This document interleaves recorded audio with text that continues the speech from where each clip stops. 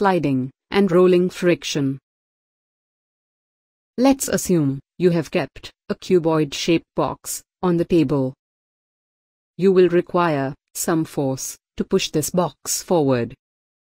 Now, keep the same box on top of cylindrical shaped object and push it.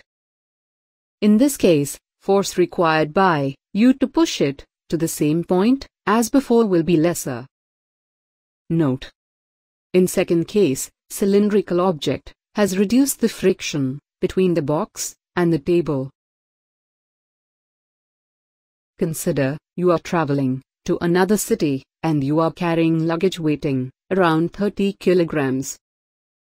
If you are unable to carry the bag, the only option you have is to drag it on the floor, which will require a lot of effort. However, if your bag had wheels under it, then it would be easier for you to carry it around. With this background in mind, let's understand what the sliding friction is. It is a frictional force, which opposes the relative sliding motion between the two surfaces in contact.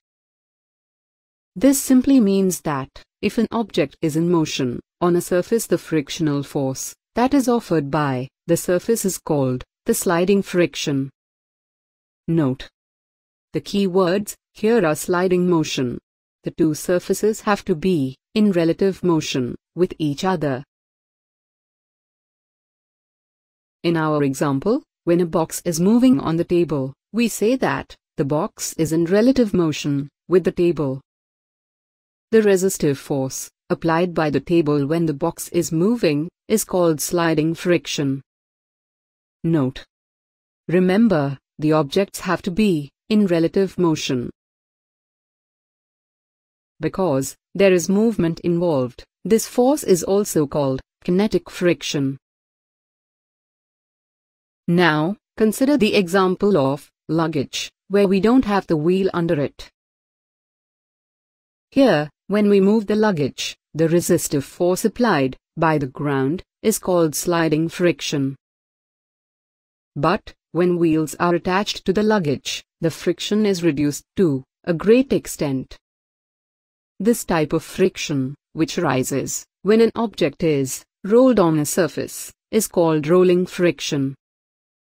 It is nothing but force associated with rotational movement. Note. Rolling friction is usually lesser than the one associated with sliding friction. That's why attaching wheels at the bottom makes it easier to move the object around. Other examples of rolling friction are car tires, skateboard tires, Bike wheels. To know more, sign up to www.lynxe.in.